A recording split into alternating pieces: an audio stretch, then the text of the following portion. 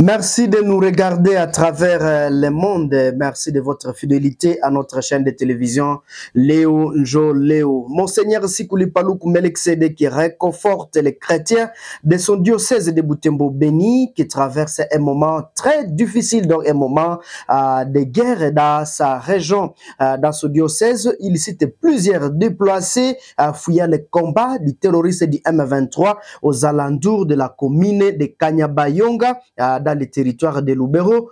On Nord Kivu, interrogé par la rédaction de Léon Joléo, ce prélat catholique, demande aux forces armées de la République démocratique euh, du Congo de barrer la route euh, à l'ennemi et aux chrétiens de soutenir par tous les moyens les forces armées de la RDC euh, qui combattent les terroristes du M23 pour le retour de la paix. chers internautes, il faut savoir que ce prélat catholique, surtout, euh, il appelle le gouvernement à alléger la souffrance euh, qu'endure cette euh, population meurtrie. Suivez Monseigneur Sikouli Paloukou euh, Melexede qui avec le diocèse de Boutembo Béni dans ses propos. Oui, c'est d'exprimer ma grande compassion pour ces, ces nouvelles situations qui ont amené beaucoup de, de nos papas, mamans, euh, frères, sœurs et enfants à se déplacer, à quitter Kangabayonga vers le nord ou même vers le sud et pour, euh, pour aller vivre à refuge.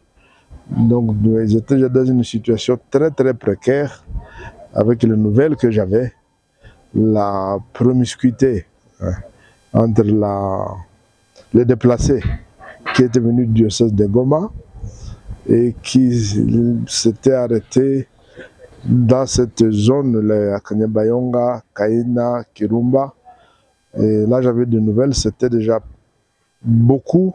Et maintenant, ces derniers jours encore, le nombre aura augmenté excessivement. Et donc, ce qui suscite énormément de besoin euh, à tout, dans une précarité absolue. Et pour autant que je sache, on n'a pas encore appris qu'il y ait du secours humanitaire. Nous n'avons pas, comme euh, Église, de moyens que la Caritas pourrait mettre en œuvre pour euh, les aider.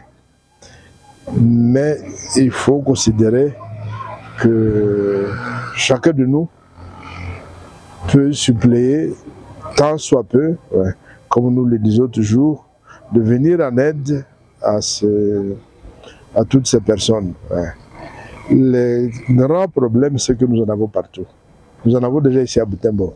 Alors, et la question, c'est toujours ça. Bon, c'est vrai. Il y en a qui, les familles, ne savent, ne plus d'espace pour accueillir tous ces déplacés. Donc, les éviter maintenant à passer aussi à.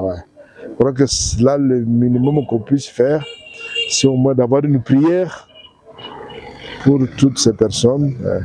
Dieu qui voit nos besoins, qui voit nos situations, il peut susciter euh, dans le cœur des hommes d'ici ou d'ailleurs un peu de compassion qui amène à donner, à partager de ce qu'on a. Ouais. Alors, ouais. Monseigneur, euh, avez-vous aussi un message en particulier au gouvernement congolais, soit aux autorités militaires qui sont basées à Kanyabayong dans le cadre de barrer la route donc à ces terroristes Oui, donc nous, euh, moi je donne ma propre euh, opinion. Ouais.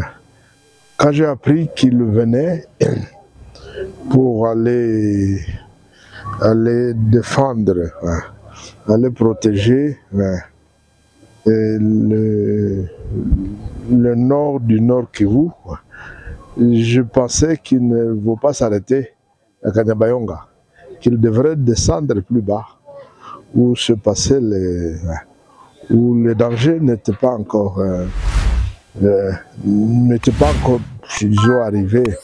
On n'avait pas encore entendu que dans le parc, euh, la MONUSCO était encore là, il y avait. Donc c'est dire que je pense que c'est là qu'ils allaient. Mais apprendre qu'ils se soient arrêtés pendant plusieurs mois sur les collines sans jamais descendre dans la vallée, c'est un peu ça qui, qui est surprenant. Et avec le risque, je ne sais pas s'ils s'ils avaient déjà suffisamment. ouais.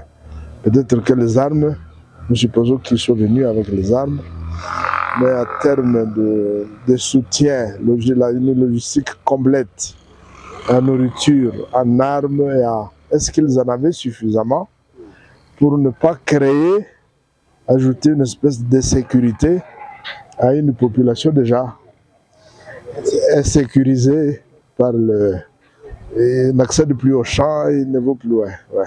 Donc aujourd'hui, j'imagine c'est un véritable drame que tout cela s'ajoute maintenant. Un déplacement de déplacés et plus ceux qui étaient euh, habités Kanyabayongo qui se sont déplacés. Donc ça va aller jusqu'où? Donc voilà, des questions qu'on peut se poser. Et nous sommes administrés, nous avons, euh, nous, euh, nous passons que tous ces rapports-là arrivent au sommet. Et la grande question, la, oui, étonnement, c'était que on a dépassé presque six mois avant même d'avoir un gouvernement. Ça fait bientôt, je sais pas combien, ça va être deux semaines qu'on a, on a nommé. Le travail n'a pas encore commencé. Il faut qu'il se mette au travail, qu'on sente qu'il y a des priorités, qu'il se préoccupe de, de ce qui se passe chez nous ici. On devrait le sentir et le voir. Mais bon, je ne sais pas si vous, qui habitez la ville, qui êtes journaliste, si vous avez plus d'informations que moi, mais je ne. J'ai eu sur le temps de suivre ce qui peut se passer à la radio. Je n'entends pas qu'il y a. Mais c'est beaucoup plus, non Il y a des déplacés massifs de ce côté-là. Donc nous continuons à prier pour eux. Et les premiers à pouvoir donner des rapports exhaustifs, ce sont ceux qui nous gouvernent. Les autorités de l'état de siège, ils sont partout, leurs délégués, ouais. Ou en passant par la, confirm- la confirmation par-ci, par-là. Je rencontre encore de délégués du gouverneur. Bon, qu'est-ce qu'ils euh, donnent comme rapport à leur hiérarchie?